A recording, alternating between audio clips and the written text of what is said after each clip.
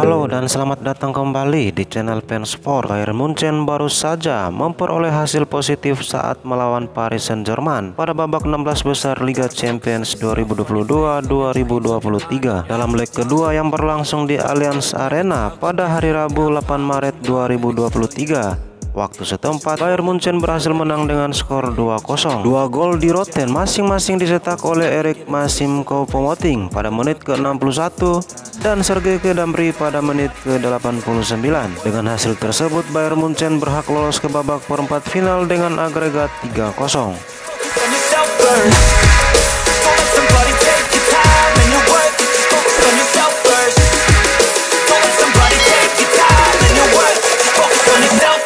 Sementara itu, kekalahan dari Bayern Munchen sekaligus menambah tren buruk PSG di ajang Liga Champions pada musim 2021-2022 lalu. Les Parisiens juga gagal berbicara banyak. PSG tereliminasi pada babak 16 besar oleh raksasa Liga Spanyol Real Madrid. Para pemain Paris mendapat sorotan dari berbagai pihak, tidak terkecuali Lionel Messi.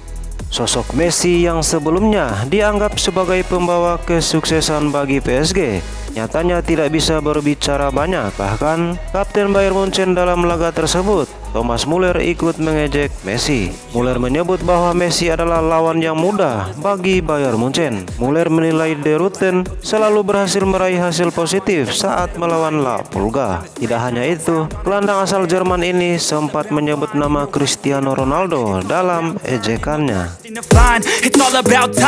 Muller mengaku Ronaldo lebih berbahaya bagi Bayern Munchen daripada Messi. Melawan Messi semuanya selalu berjalan baik di semua level dalam hal hasil, ucap Muller. Di level klub, Cristiano Ronaldo adalah masalah kami saat berada di Real Madrid. Tentu saja saya tahu statistik saya dalam pertandingan melawan Messi. Sebelum pertandingan, mereka selalu membicarakan hal ini. Ada skor 28 melawan Barcelona, tapi saya pikir yang lebih penting dari itu adalah 7-0 secara keseluruhan yang menguntungkan kami di semifinal 2013.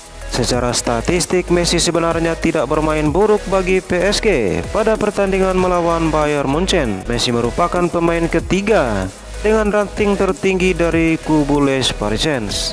Kapten timnas Argentina itu mendapatkan nilai akhir 6,9. Messi hanya berada di bawah Danilo Pereira yang mendapat rating 7,3 dan Sergio Ramos yang memperoleh 7,0.